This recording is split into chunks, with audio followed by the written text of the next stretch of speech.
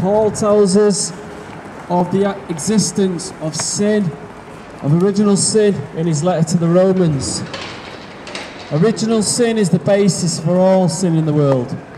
It is the foundation of the absence or denial of God in the lives of men and women. In Genesis of the Bible, we read the story of Adam, the first man, a representative of the human race as our representative. Adam was created holy and a perfect example of a complete and just human being. But Adam chose to follow his own choices, his own ways, rather than the ways of his Creator. His will was superimposed on the will of God, and so disorder, death, and deterioration entered this world.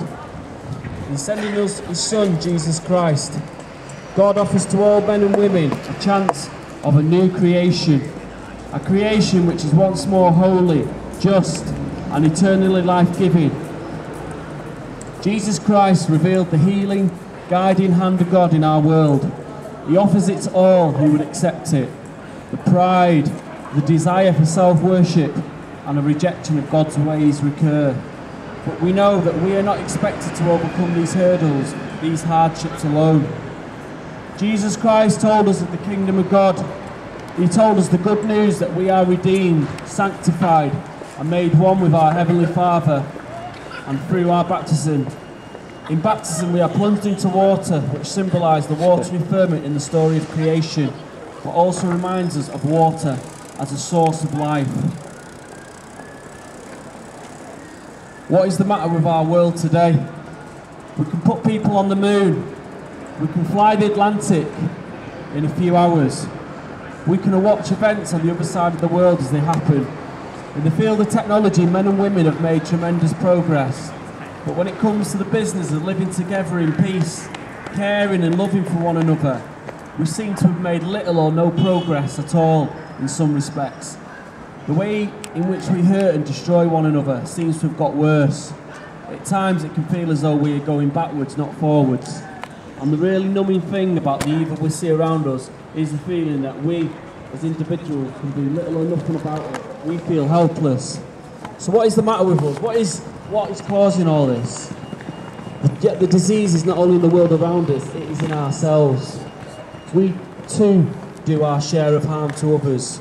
We're selfish, we're cruel, we fail to love day in and day out. The conclusion is that there is something wrong with men and women. Somehow, somewhere along the line, we get involved with sin. There is no need at this point to look back at the beginnings of human history to find out precisely how we got into this situation. The important point is that this situation is a fact. It is plain for all to see. If we have any doubts about our world's need for redemption, for a fresh start, we need to look no further than today's news bulletin. If we have any doubt about our personal need of redemption, we need to look no further than our own hearts. Jesus Christ came to seek and to save what was lost. The idea of being lost is a good description of what sin means. When we are lost, we have the right road, we're on the wrong road. We're wandering aimlessly with no sense of purpose or direction. Men and women turned away from God, they're lost. They have broken off all contact with God, who alone gives meaning and purpose to life. They become like the airline pilot trying to land in the fog, having lost contact with God.